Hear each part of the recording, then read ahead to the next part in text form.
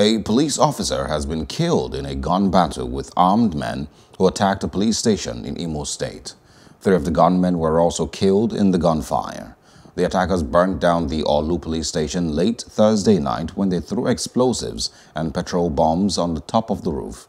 But the police tactical team engaged them in a gun duel leading to the deaths.